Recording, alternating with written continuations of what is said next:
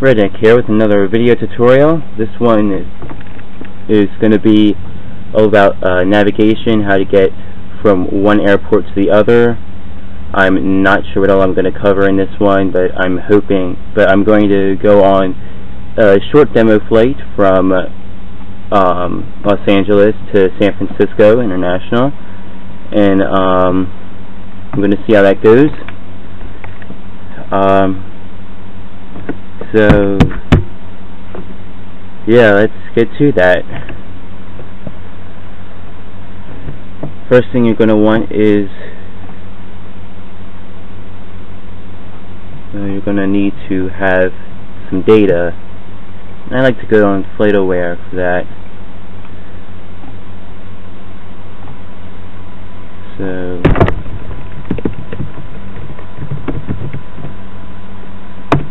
go to FlightAware.com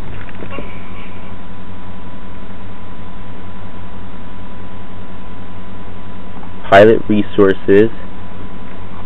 And scroll down to recently used IFR routes. Put in your origin destination airport just as it prompts you. So KLAX KSFO it's not case sensitive so just go ahead and do that. Find flights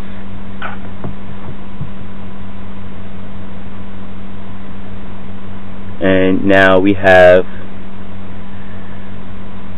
that's our standard instrument departure.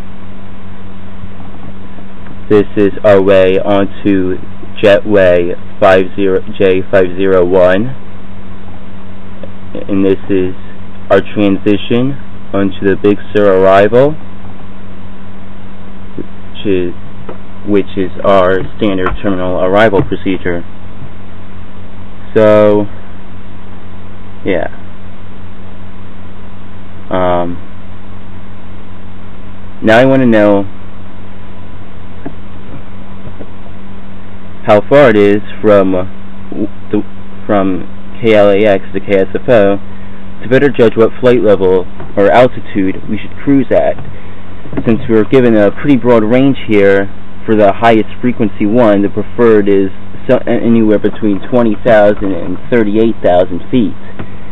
So for that I use Google Earth.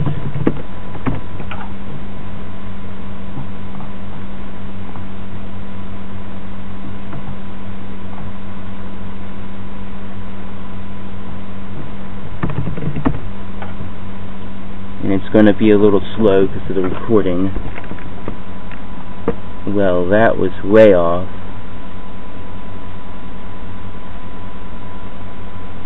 Okay, there we go. E.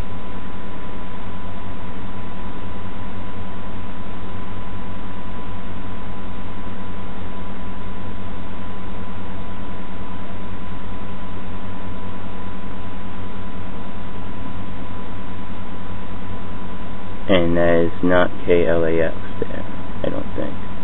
There's Santa Monica. There's KLAX.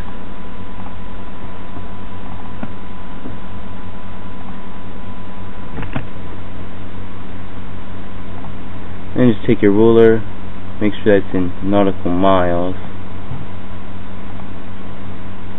If you don't have Google Earth, you can find some, um, a way to calculate distance, another way to calculate distance. I'll show that as well. But I prefer Google Earth because that works for it's it's quick. Now here's how you decide cruising altitude. It's 293 nautical miles away, so let's just round that up to 300, add two zeros, 30,000 feet. So you want to cruise at 30,000 feet. Now we don't need Google Earth anymore. And westbound flights generally have an even number value for altitude, whereas eastbound has an odd number. So 30,000 feet fits. Otherwise, we'd have to use 29,000 or 31,000, and in this case, the 29,000 would be more preferable, but since we're going westbound, we use 30,000 weather is bad, so I'm going to have to set it on fair weather to get this to work without crashing. Um, next, we go to airnav.com.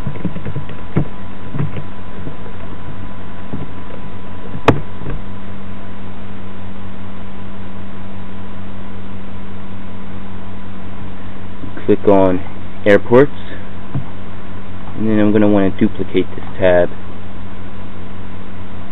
since you need for both airports. So I want KL ah, LAX copy typing I'm sorry and KSFO then you want to scroll down find the departure procedure VTU 5 which one? Ventura 5 and then hopefully that's going to load correctly. Now ideally you would also want the airport diagram over here because chances are you'd be starting at a parking position if you're doing a realistic flight but I don't have a joystick so I'm not going to bother with taxiing so let's get back to where I was